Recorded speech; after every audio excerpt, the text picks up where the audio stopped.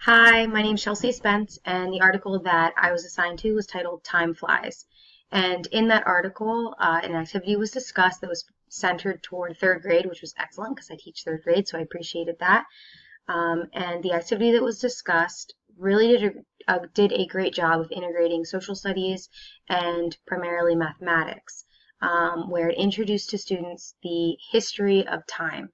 So it discusses with students how civilization went on before the mechanical clock um, had ever been invented.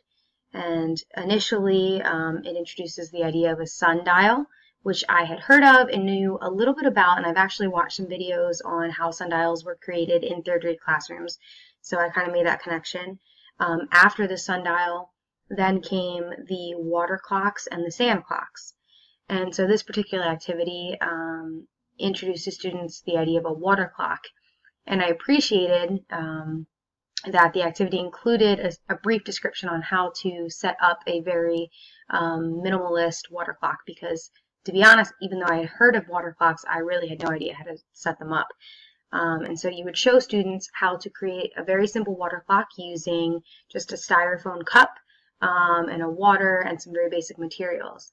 And then once you introduce that, um, and they did a little research on the history of water clocks and sundials and kind of learn some of that background information, then you would give them the kind of new problem, which would be to create a water clock that kept time up to five minutes that included not one uh, styrofoam cup, but actually four styrofoam cups.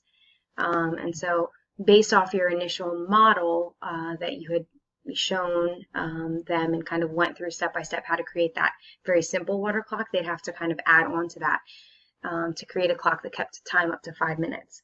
And I really like this idea um, because one of the major math units that I teach has to do with telling time.